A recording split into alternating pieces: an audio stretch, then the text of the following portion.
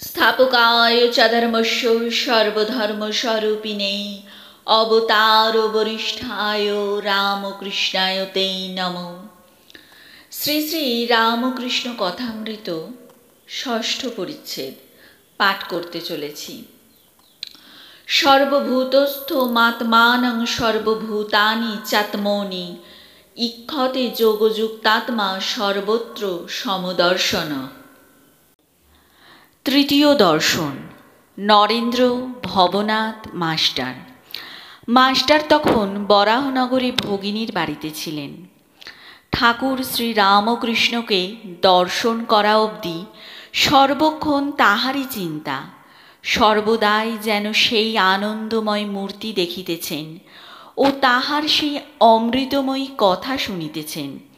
ভাবিতে লাগিলেন, এই দরিদ্র ব্রাহ্মণ কীরূপে এইসব গভীর তত্ত্ব অনুসন্ধান করিলেন ও জানিলেন? আর এত সহজে এইসব সকল কথা বুঝাইতে তিনি এ পর্যন্ত কাহাকেও কখনো দেখেন নাই। কখন তাহার কাছে যাইবেন ও আবার তাহাকে দর্শন করিবেন, এই কথা রাত্র দিন ভাবিতেছেন। দেখিতে দেখিতে রবিবার পাঁচই মার্চ আসিয়া পড়িল। বরাহনগরের নেপালবাবুর সঙ্গে বেলা তিনটা চারটার সময় তিনি দক্ষিণেশ্বরের বাগানে আসিয়া পৌঁছিলেন। দেখিলেন সেই পূর্ব পরিচিত ঘরের মধ্যে ঠাকুর শ্রীরামকৃষ্ণ ছোট্ট তক্তপোষের উপর বসিয়া আছেন। ঘরে এক ঘর লোক। রবিবার অবসর হইয়াছে, তাই ভক্তেরা দর্শন করিতে আসিয়াছেন। এখনও মাস্টারের সঙ্গে কাহারও আলাপ হয় নাই। তিনি সভা মধ্যে এক পার্শ্বে আসন গ্রহণ করিলেন। দেখিলেন ভক্ত সঙ্গে সহাস্য বদনে ঠাকুর কথা কহিতেছেন। একটি ঊনবিংশতি বর্ষ বয়স্ক ছোকরাকে উদ্দেশ্য করিয়া ও তাহার দিকে তাকাইয়া ঠাকুর যেন কত আনন্দিত হইয়া অনেক কথা বলিতেছিলেন। ছেলেটির নাম নরেন্দ্র, কলেজে পড়েন ও সাধারণ ব্রহ্ম সমাজে যাতায়াত করেন।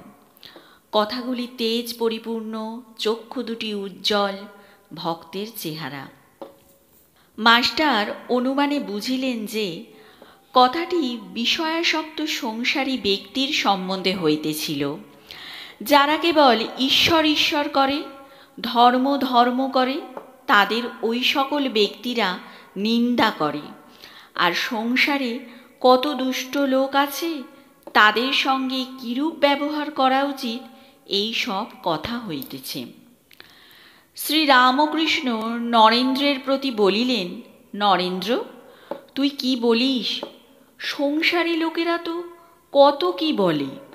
কিন্তু দেখ, হাতি যখন চলে, পিছনে কত জানোয়ার কত রকম চিৎকার করে। কিন্তু হাতি ফিরেও চায় না। তোকে যদি কেউ নিন্দা করে, তুই কি মনে করবি?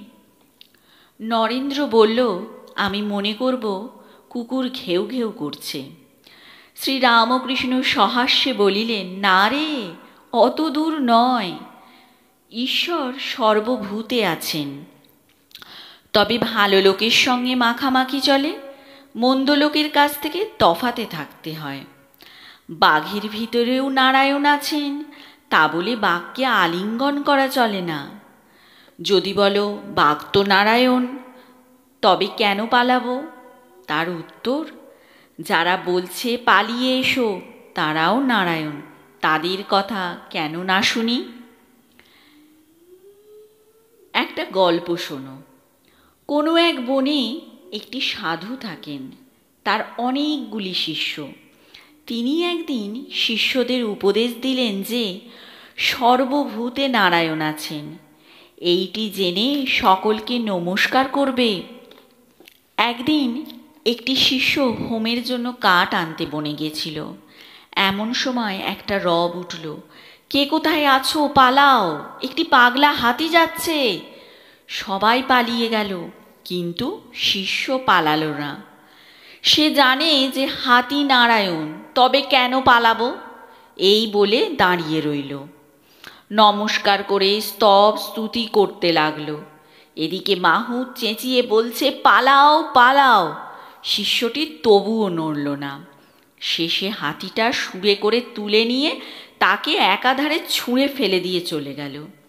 শিষ্য ক্ষত বিক্ষত হয়ে অচৈতন্য হয়ে পড়ে রইল।